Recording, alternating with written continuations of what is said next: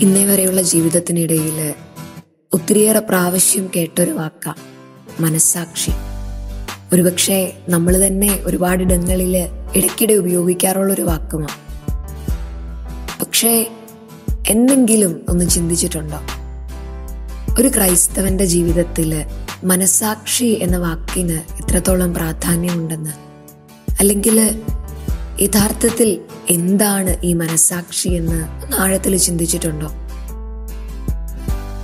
നമ്മുടെയൊക്കെ ഉള്ളിന്റെ ഉള്ളിലുള്ള ഒരു ആന്തരിക ശബ്ദമാണ് മനസാക്ഷി നന്മയുടെ വഴികളിലൂടെ നടക്കണമെന്നും തിന്മയിലേക്ക് വീണു പോകരുതെന്നും നമ്മെ ഓർമ്മിപ്പിക്കുന്ന ശബ്ദം. എല്ലാ മനുഷ്യർക്കും ജന്മസിദ്ധമായിട്ട് മനസാക്ഷിയുണ്ട് പക്ഷേ അത് രൂപപ്പെടുത്തിയെടുക്കേണ്ടത് ഓരോ മനുഷ്യന്റെയും കടമയാണ് കുഞ്ഞുനാളുകളിൽ തിന്മയിലേക്കൊക്കെ വീഴാൻ പോകുമ്പോൾ തെറ്റായ ഒരു കാര്യത്തിലേക്ക് നമ്മളൊന്ന് ചായുമ്പോൾ പുള്ളിന്റെ ഉള്ളിൽ നിന്ന് ഒരു സ്വരമുണ്ടായിരുന്നു ഇത് ചെയ്യരുത് എന്ന്. വളർന്നു വന്ന വഴികളിൽ എവിടെയോ അത് നമുക്ക് കൈമോശം വന്നു പോയിട്ടുണ്ട്. നമ്മുടെ മനസ്സാക്ഷി ഒരുപക്ഷെ വഴിതെറ്റിയിട്ടുണ്ടാകാം. പല പല സാഹചര്യങ്ങൾ മൂലം ഇന്നൊരു പക്ഷേ ആ മനസാക്ഷി മൃതപ്രായമായിരിക്കും. എങ്കിലും ഇനിയും ദൈവത്തോട് ചേർന്ന് നിന്ന് ആ മനസാക്ഷിയെ രൂപപ്പെടുത്തിയെടുക്കാൻ നമുക്ക് കഴിയുമെന്നതാ ഏറ്റവും വലിയ പ്രത്യാശ. കാരണം സഭ പഠിപ്പിക്കുന്നത് മനസാക്ഷി എന്നത് ദൈവത്തിന്റെ ശബ്ദം തന്നെയാണെന്ന്. മനുഷ്യ മനസാക്ഷിയിലൂടെയാ ദൈവം മനുഷ്യനോട് സംസാരിക്കുന്നതെന്ന സഭ പറയുക.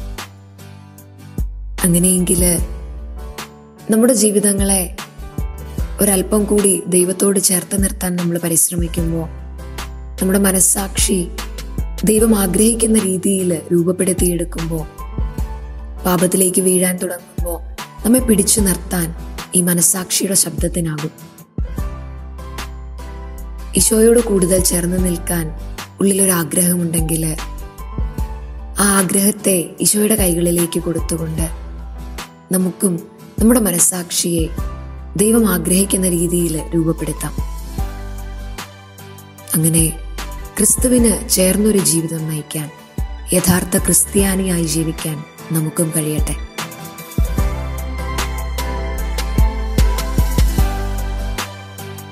You are listening to Heavenly Voice from KRSU.